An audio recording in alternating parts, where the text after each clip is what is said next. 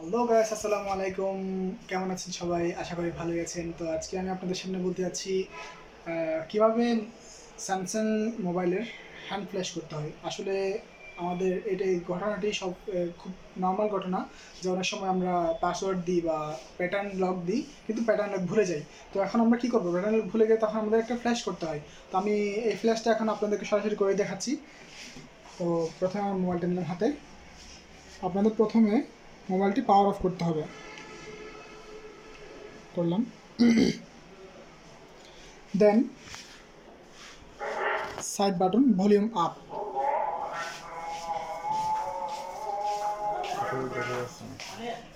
side button volume up এই যে volume up দেন হচ্ছে এটা।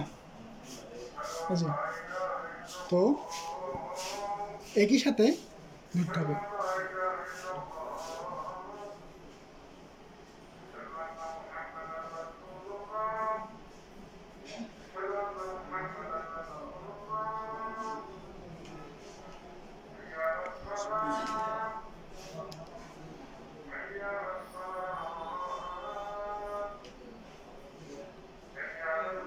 তো আগের থেকে? আচ্ছা। তো এখন আমাদের করতে হবে কি? Power button then volume up প্রথমে বলি আপ তারপরে হোম তারপরে হোম হোম তারপরে পাওয়ার দাও পাওয়ার বাটন একসাথে।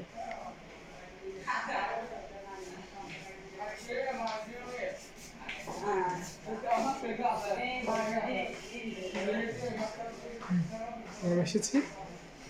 এখন আমাদের করতে হবে কি? রোবট সিস্টেম না, এখানে কিছু অপশন আসবে আপনার, এই যে এখানে কিছু অপশন আসবে। তো আমাদের করতে হবে, তো আমাদের করতে হবে হচ্ছে একটু লাইট অফ করলে ভালো এখানে আসবে, আমাদের কিছু অপশন আসবে। এখানে হচ্ছে আপনার ওই যে তো এখন আমরা করব কি? রোবট সিস্টেম নাও তো এটা না আমরা না না না নিচে নিচে। Factory reset wipe data factory reset মাঝখানে। এটা। হুম আচ্ছা সরি তো আমরা এখন করব হচ্ছে ওয়েব ডাটা ফ্যাক্টরি রিসেট করব। তো এটা আমাদের এই যে পাওয়ার বাটন পাওয়ার বাটন ডান তো এখন আমাদের এখানে কিছু ডিলেট অল ইউজার যেটা আছে এই যে ইয়েস ডিলেট অল ইউজার দিলাম। কাজ হচ্ছে। এখন কাজ চলছে। তো কিছুক্ষণ পরে আমাদের ফোন ফুল রিসেট হয়ে যাবে। এখানে হচ্ছে আমাদের রিবোট। সিস্টেম নাও এটাও ঠিক সেমভাবে কি দিয়ে? পাওয়ার বাটন দিয়ে দিলাম। হয়ে গেল। এখন আমাদের ফোন একদম রিফ্রেশ হয়ে গেল।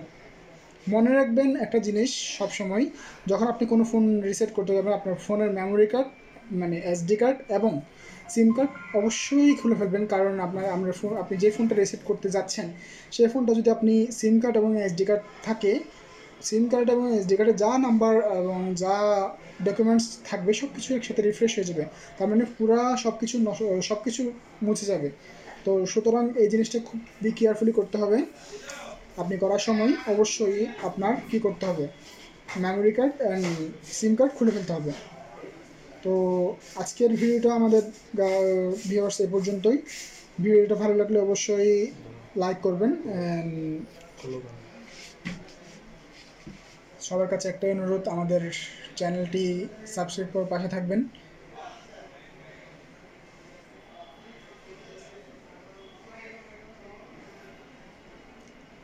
তো আমাদের এখন হচ্ছে। প্রসেসটা দেখে। তো আমাদের প্রসেসটা হচ্ছে, আমি আবার একবার আপনাদেরকে বলছি, প্রথমে কি করতে হবে? ভলিউম আপ বাটন তারপর হচ্ছে হোম বাটন তারপর পাওয়ার বাটন সেমভাবে সমতল মানে একই সাথে কি করতে হবে? প্রেস করতে হবে, একই সাথে চেপে চেপে ধরতে হবে। কিছুক্ষণ এই তিন থেকে চার সেকেন্ডের মধ্যে আপনার রিবোট অপশন চলে আসবে। তো প্রথমে আপনি ফ্যাক্টরি রিবোট করবেন, তারপর হচ্ছে আপনার কি করবেন? সব কিছু করা ইএস ডাটা দিয়ে ES all related reset data দিয়ে যে আমাদের এখন চলে আসছে আমাদের যেহেতু নেক্সট যে নতুন একদম সব কিছু নতুন আসছে একদম। আমরা নেক্সট দিতে আছি সমস্যা নেই যেহেতু আমাদের এখন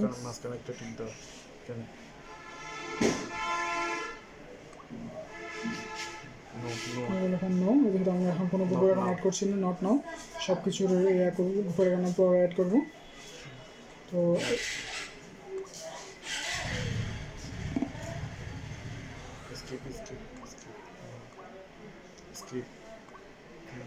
তো সবাইকে ধন্যবাদ সম্পূর্ণ ভিডিও দেখার জন্য। তো আমাদের ফোনটা এখন নতুন হয়ে গেছে যে এখন আমাদের ফোনে কোনো লক নেই। কোনো লক নেই। সাথে সাথে খুলে যাচ্ছে ধন্যবাদ সবাইকে, আসসালামু আলাইকুম। আবার আমাদের ভিডিও সবার আগে দেখতে অবশ্যই আমাদের চ্যানেল সাবস্ক্রাইব করবেন এবং বেল আইকনে অল দি বাটনে ক্লিক করবেন। ধন্যবাদ।